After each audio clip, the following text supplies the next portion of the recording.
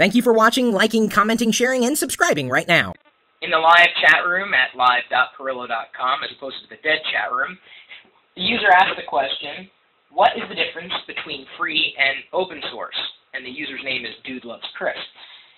So before I could answer it, the chat room jumped in. Uh, Quasmo said, open source means anybody can edit the code. Free means you get what you. And it goes on, Wild Ride user 7243 says, open source means that you have access to the source and can change it.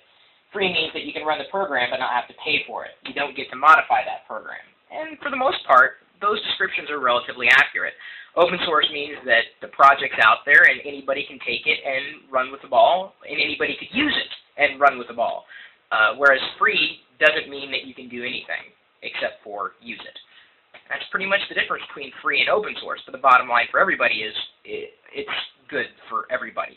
Open source versus free, I'd say open source is better because, again, if the developer stops developing the code, someone else can pick up the ball and run with it.